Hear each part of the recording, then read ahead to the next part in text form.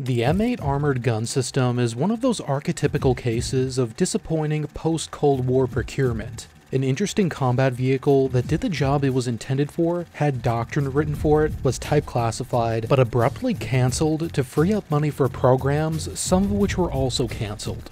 Other people have covered the technical aspects of the M8 AGS. Spookston is a whole brand surrounding these American lightweight gremlins, but today I'm going to cover how these light tanks would fit into armored unit organizations and what kind of missions they would have done had they actually entered operational service.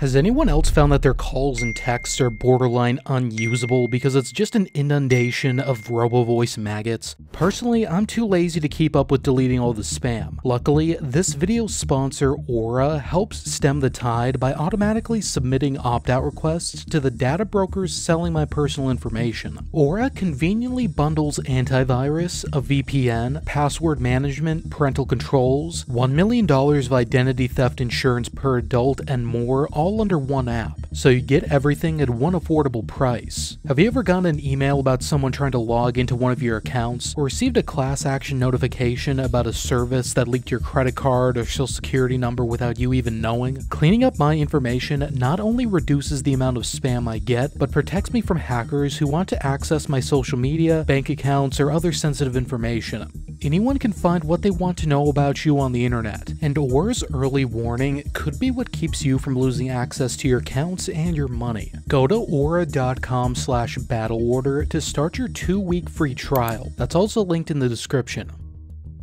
Two units were intended to receive the M8 AGS. 3rd Battalion of 73rd Armor, a light armor battalion directly subordinate to the 82nd Airborne Division, would have been the first to receive the M8 to replace its M551 Sheridans. After the 82nd began fielding in 1999, the 2nd Light Armored Cavalry Regiment would begin fielding to replace its Humvee mounted TOW missile systems. These two formations had different purposes and were structured differently. The 82nd's Light Armor Battalion was intended to provide direct fire support to its airborne infantry brigades and possibly act as a maneuver element. 2nd ACR, meanwhile, was the high-level reconnaissance and security element for the 18th Airborne Corps, of which the 82nd was a part. While it shared the lineage of the 2nd ACR that fought at the Battle of 73 Easting, they were functionally two different organizations. The original 2nd ACR with its Abrams and Bradleys was inactivated in Germany post-Gulf War, and the new 2nd ACR Light was reflagged from the 199th Infantry Brigade, formerly of the 9th Motorized Infantry Division. The Light Armor Battalion would have been the Airborne Division's most maneuverable, survivable, and lethal subunit, with scalable armor packages and a 105mm gun.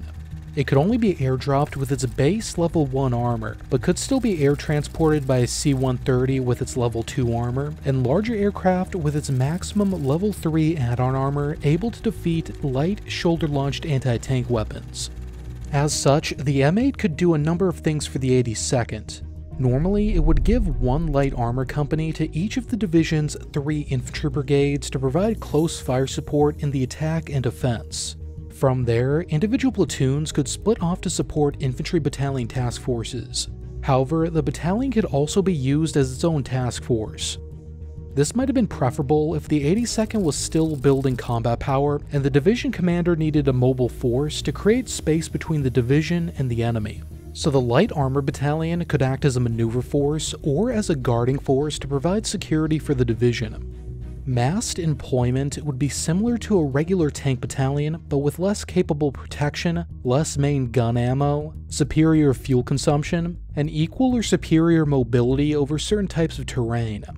In fact, when not split to support infantry units, light armored doctrine deferred to the standard tank publications, which also applied to the Abrams and M60A3. The M8 was basically considered a tank with caveats, unlike the M10 Booker, which the Army will not call a light tank.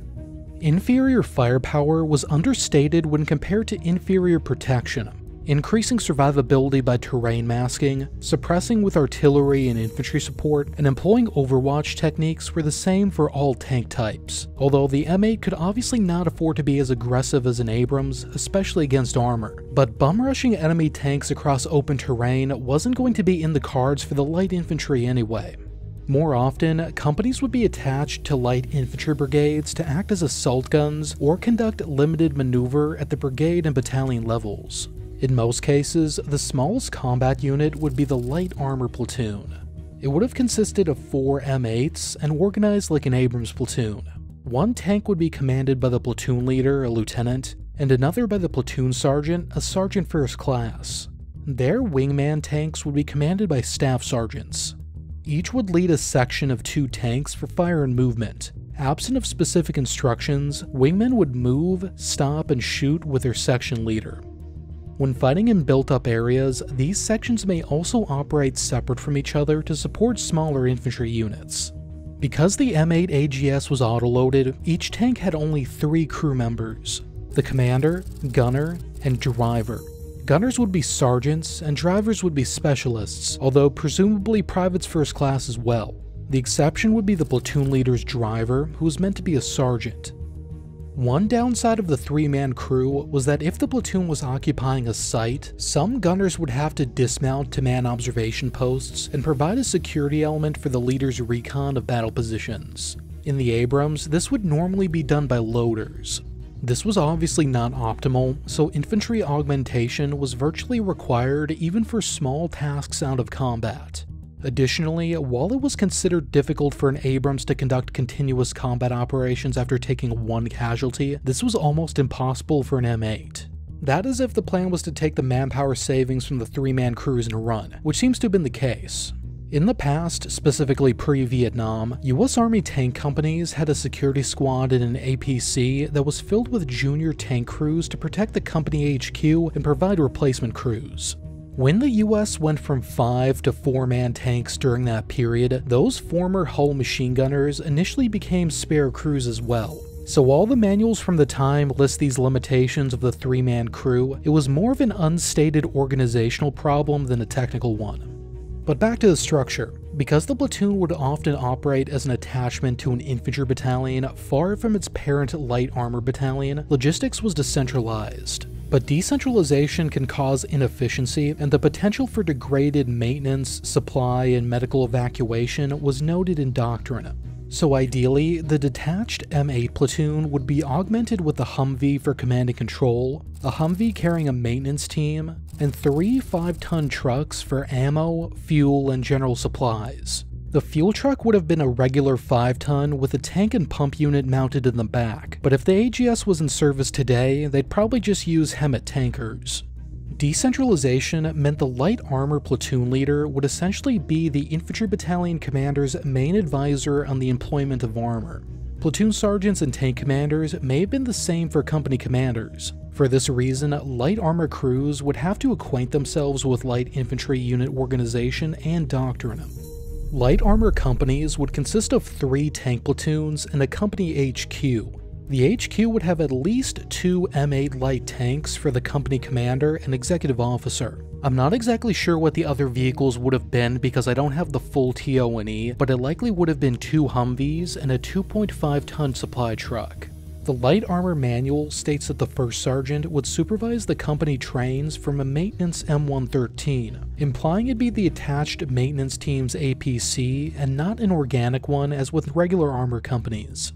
Regular attachments to the company HQ would include a fire support team in a Humvee, an officer and forward observers attached from a direct support artillery battalion or divarty to coordinate fires, an engineer platoon from Corps or Division, a medevac team in a Humvee ambulance, maintenance teams with their wrecker, ammo section, and fuel section. The logistical element was probably the most important because the infantry brigade wouldn't normally be set up to support tanks, so they needed a detached sustainment slice from the light armor battalion. To provide local air defense, the company could also get an air defense slice. This might look like a Stinger Manpads team on a Humvee, depending on the nature of the enemy and the company's mission. In combat, the Light Armor Company could be further task organized in a number of ways. It could fight as a whole company under a light infantry battalion or brigade, or under its own battalion.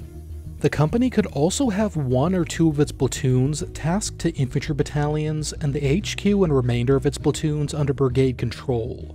Or it could have all of its platoons under different infantry battalions and the company commander goes with the main effort battalion. When companies were attached to the infantry, the light armor battalion would ideally provide a liaison to continuously link the light armor company with the light brigade command post.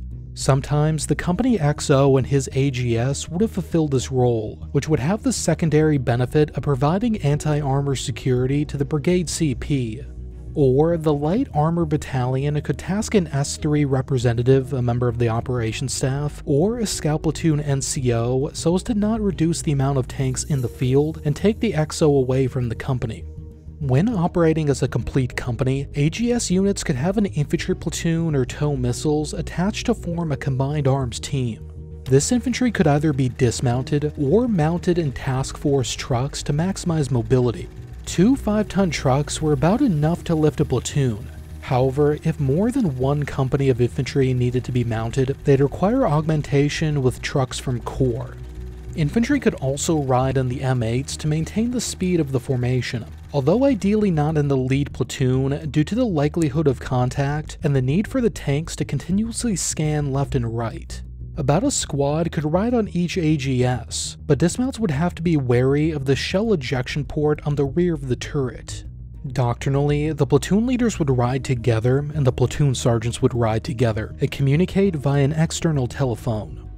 At the highest level, the Light Armor Battalion would consist of four light armor companies and headquarters and headquarters company. I'm unsure how many M8s would have been in the battalion HQ, but it's likely there would have been two, keeping in line with standard practice for a total of 58 in the battalion. The HHC also had a Humvee mounted scout platoon, a mortar platoon with six 81mm mortars, and medical, support, maintenance, and communications platoons. This was before the days of forward support companies, logistics was in the HHC. Additional air defense assets could also be attached from division. This would normally be a Stinger section with five Humvee mounted manpads teams, but could also include an Avenger platoon with six Avengers, basically self propelled Stingers on a Humvee. For detached operations, light armor companies could receive a slice of this air defense, Moving on from the 82nd, compared to the Light Armor Battalion, 2nd ACR was a much larger organization and not purely tanks. Whereas the 82nd's AGS would have supported parachute infantry, 2nd ACR supported the corps level recon and security effort. In reality, each light cav troop, equivalent to a company, had two scout platoons with 10 Humvees each two anti-armor platoons with four TOWs mounted on Humvees, a mortar section with two 120mm mortars trailered by three Humvees, a maintenance section, and an HQ. But following the adoption of the AGS, the plan was to replace the anti-armor platoons with AGS platoons and give the HQ an AGS as well. Three of these troops would be part of a light armored cav squadron, supported by a 6 tube towed 155mm artillery battery. The squadron as it actually existed also had an anti-armor company with 12 tow Humvees. This would have been a light armor company with 14 M8s. The 2nd Light Armored Cav Regiment would have three of these ground squadrons for a total of 123 armored gun systems. Aerial reconnaissance was also provided by the Regimental Aviation Squadron with 32 OH-58 Delta Kiowa Warrior stealth helicopters and 15 UH-60s for limited air assaults and the delivery of supplies. It differed from its armored equivalent in the lack of attack helicopters. The regiment as a whole also had a headquarters troop, air defense battery, intelligence, engineer, and NBC defense companies, and a support squadron. This organization supported the 18th Airborne Corps. It's also a capability that no longer exists, as the 2nd Cav Regiment is now just a Stryker infantry brigade but with Cav traditions. If you'd like more info on light armor, check out this video on the US Army's M10 Booker, which does something similar to the AGS. I'll see you over there.